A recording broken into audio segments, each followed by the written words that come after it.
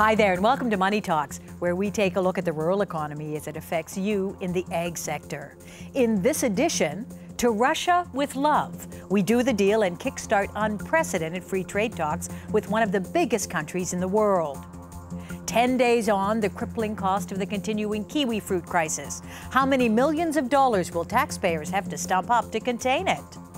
And the countdown is on. Just two weeks to go before the close of the Wool Partners Co-op prospectus. What do our panel experts predict wool growers will do? All this and much, much more coming up. But first, there's been plenty of talk about currency intervention in recent weeks. Here at home, the Reserve Bank's jumping in and speaking Swahili. Well, kind of. Joining us to tell us more is ASB rural economist James Shortall. James, how's your Swahili today?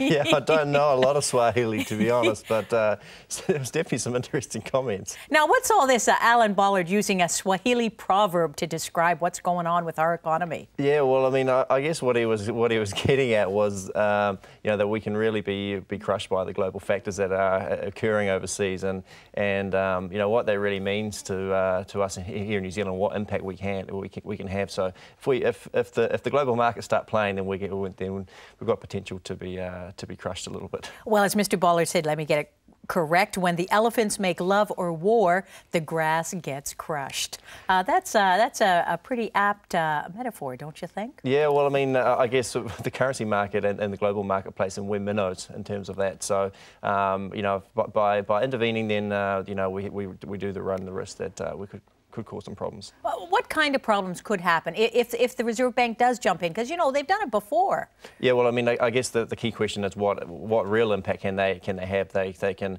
they can go and buy some currency, um, whether that's going to be enough to really uh, push the currency lower. Um, uh, there's a big question mark around that. I, I suspect that, that it wouldn't. Um, and, of course, uh, as soon as Reserve Banks do start jumping into currency markets, then um, it does provide a, a, good opportunity for speculators and for the big hedge, hedge funds around the world who do have market presence, who do dominate the market, then they, uh, it does give them some opportunities to come in and, and, and play around in the market.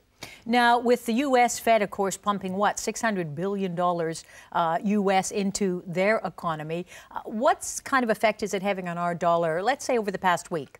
Yeah, well, I mean, the, the US dollar immediately after that announcement, then it did, it did soften, um, and that's why we did see the currency move up close to 80 cents. Uh, didn't quite crack the 80 cent mark, but um, you know has softened again since then. So really, I think that's going to be a key factor for the currency over the next little while. Is that we're going to see uh, the US dollar weak against all currencies, including the New Zealand dollar.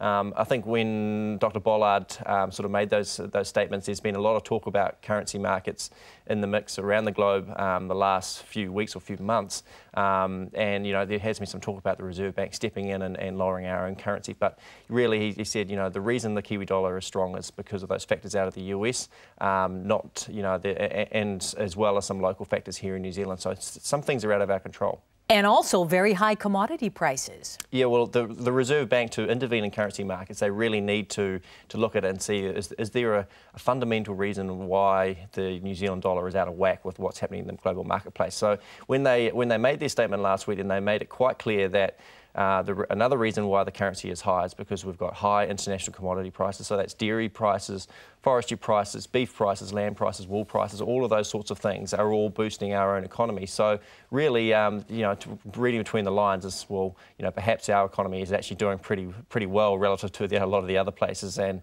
that's the reason why the currency is high. So, you know, fundamentally, our, our currency should be a little bit higher than, than what it has been. Okay, let's talk dairy now. Global dairy trade auction overnight. How'd we do? Yeah, prices were pretty flat. I mean, um, I think on a trade weighted basis, they, they fell by 0.1%. So really, that's that's that's almost no change from uh, from two weeks ago. Uh, whole milk powder did fall a little bit more. The, the fat-based products uh, were slightly higher. So um, I think the fact that prices are, are, are stable is continues to be a really good story for for payout for this coming year. And how's China doing as a driving factor? Still going to be big? Oh, I think so. I mean, China uh, continues to drive the, I mean, all commodity markets around the globe, whether it's dairy, whether it's uh, whether it's the hard metals, that sort of thing. So, um, but they definitely have been driving dairy, and um, they're going to continue to drive that in the future, as well as other developing countries. Now, interesting at the recent World Dairy Conference here in Auckland, the delegates were polled instantly, 2,200, and 70% of them apparently picked that uh, the price next year is going to be what 3,800 uh, a ton. Uh, what do you make of that? Yeah, well, if it is 3,800 a ton uh, in US dollar terms, and that's going to be fantastic news for farmers here in New Zealand. I do you uh, think it's too optimistic? I, I, think it might be a little bit optimistic to, to say 12 months from now that that prices are going to be that high. Right now, we're sort of you know 34, 3500 US dollars per tonne for whole milk powder. Um, I think we're leading into the beginning of next year. We've already heard Andrew Ferrier say that um, you know perhaps we uh, you know US dairy production could be higher. Um, I, that's that's a view that I share also, as well as uh, European dairy production into the beginning of next year. So that could have a factor on prices.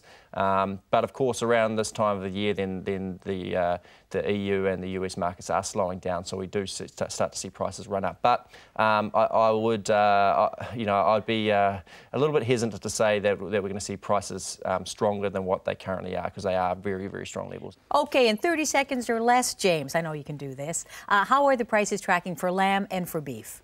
Lamb prices on an international scale still really strong. Uh, beef prices also are, are, looking really strong. So I think on an international on an, inter, an international scale for meat, um, things are looking really good. Uh, of course, the currency at current levels has, has been a bit of a dampener, but um, you know, that's going to impact on schedules this year. But generally, for both beef and lamb, I'm, I'm predicting that schedules will be higher than they have been last year. Thanks, James. Coming up after the break, should our dairy and meat farmers be celebrating now that the giant Russian bear has given the green light to free trade talks with the tiny kiwi? At the APEC summit, John Key talks tough to Japan as global trade power brokers talk Turkey in Yokohama. Plus, much, much more. But first, answer this in our Farmers Facts and Figures quiz. What's the largest country in the world in landmass? The answer when we come back. Stay tuned.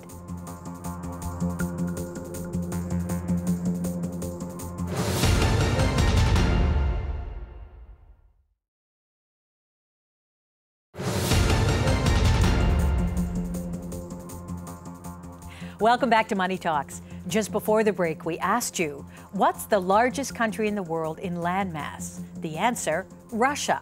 It covers a ninth of the earth, has nine time zones, and is home to one quarter of the world's fresh water. Joining us now is editor of the National Business Review, Nevil Gibson.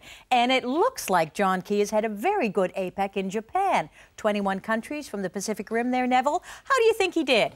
I think you must have done well. APEC is about free trade, but usually it gets uh, gazumped by some other issue, and uh, we've had terrorism and that sort of thing. So this time they actually had to come up on free trade, and it really showed the colours of the countries involved.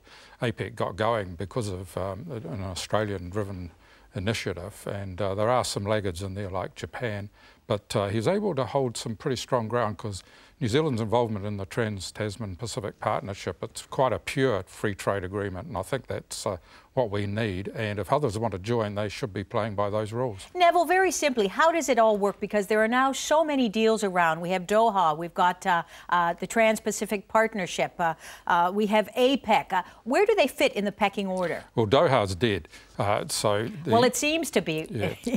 So what you had, arising out of APEC, you had one or two countries like New Zealand and some smaller ones who believe in the free trade deal and they believe in multilateralism. So they actually sort of got together and it's widened now to uh, a lot of other countries wanting to join, Malaysia, Peru, countries like that. So uh, think about trade is that people see it as a zero-sum game, that if you don't give a concession to someone else and you get one in return.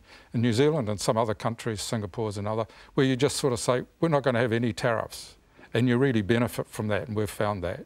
But you see, other countries don't view it that way. They say, we're not going to give away anything unless you give us something in return. And that's unfortunately where the big countries are, China, United States, for example. James, we know that in the case of Japan, they've had huge uh, uh, tariffs protecting their agricultural products. Talk to us a bit about that and what's at stake for them.